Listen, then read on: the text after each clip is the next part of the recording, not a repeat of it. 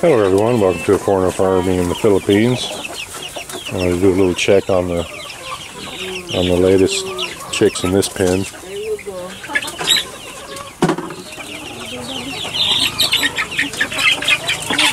There's that little native hen.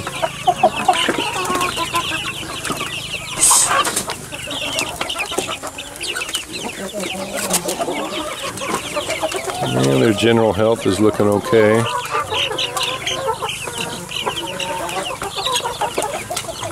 That one right there is not living life. Yeah, that one's sick.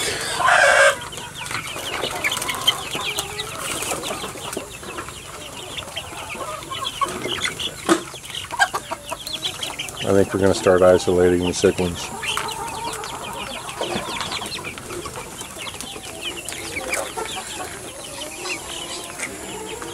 And look at these.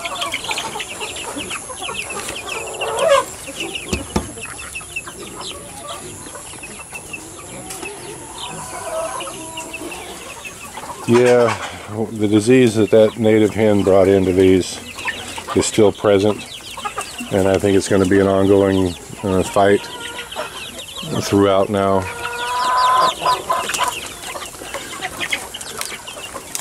We're always going to have a bit of loss, and chickens not thriving the way that they should be.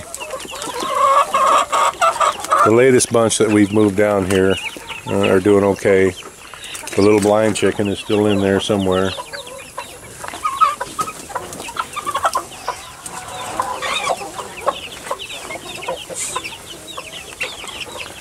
if I can find him.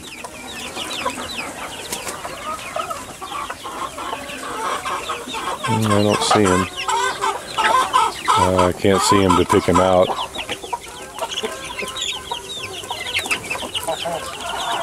But Jenna said none of the none of the chicks moved into this pen, into this little cage here, have died. So I have to assume that he's still in here somewhere, and that he's figured out where to get uh, food and water.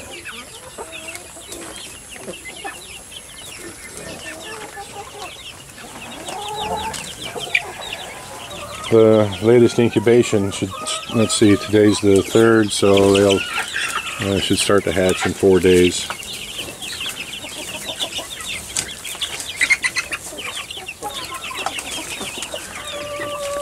You know what I'm thinking, Jen? Uh, we need to make a, a nursery sick chicken uh, pen. Um, either one of these over here you can use.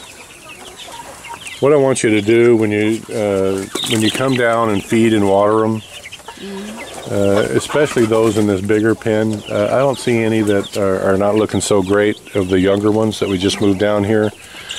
But these older ones, like that one right there, see the one I'm pointing at? That one.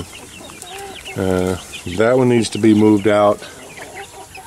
Uh, this one right here, that one needs to be moved out. And how you can generally tell, other than just looking at them, uh, when you put the feed and water in, if they just don't make a mad dash like those over there, if they just really don't get on the feed and the water, they're not feeling good. Uh, because they should be hungry and just just tearing it up. Any that that kind of see how that one is just kind of standing there and just uh, is hating life. Any of them like that, we need to take out, and uh, I'll get some more uh, medicine for the water, some more of that antibiotic, and we'll treat them again. I just don't want the healthy ones in there catching it uh, from the unhealthy. I know it's going to be more work. It's going to be two more waterers and another or another waterer and another feeder uh, that you have to mess with, but it needs to be done.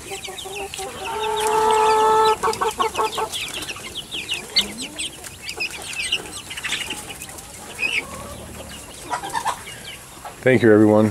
Please like, comment, share, and subscribe.